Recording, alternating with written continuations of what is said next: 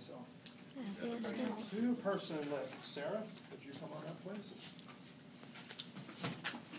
And Michelle, can you go to the keyboard, keyboard, and do you know how to advance the slide?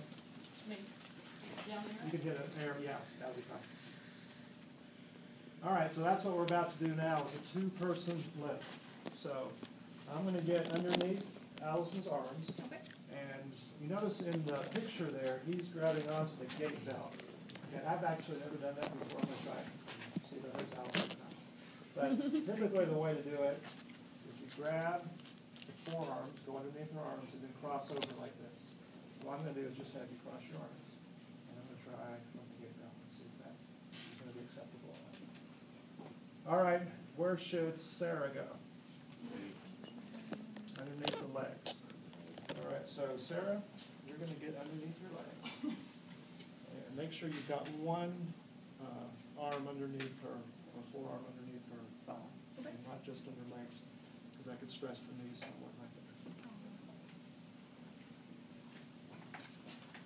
All right, and what we're gonna do, and I want you all to do this too, is we're gonna do a test lift first. Okay. We're just gonna raise her up a little bit, put her back down, and make sure we're okay lifting her. Okay. Okay? And you let me know if the belt hurts when I do it this way. Okay. All right, on three, and whoever's at the head, take charge. By the way, who should probably be at the head? The stronger one? The stronger, better looking one? Can we switch? I don't know if you heard that, but she said, do we need to switch? Now, usually the taller and stronger person, if possible, will be at the head. You had to throw taller in, didn't you? And the taller is because, what it's kind of awkward being up here, because you have to kind of go around uh, the arm, uh, the push handle here. So it is a little bit awkward here. And actually, can you raise the bed up just a little bit, so we don't pull down? That's good. All right. Do I have to come from the side or can I come from the front? Show me what, show me an alternate way that you would like to make.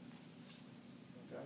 But, I mean, if she can't do that, I understand that that's a problem, especially if I'm a guy, but I'm not, she can't do that. And we're going over there.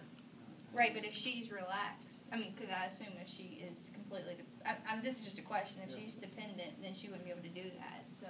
And it's still going to be, we can try it so you can see how awkward that would be. Okay. Because you're going to lag her legs flat out like. Right, okay, So we can try it and see what happens. But let's do it the good way first. Okay. So let's do a test go ahead and cross your arms. right there. All right, and on three, go in the left. Ready? One, two, three. Okay. Allison, what do you think? That hurt? no. Okay, all right. Okay, this time, we're gonna lift up and over. One,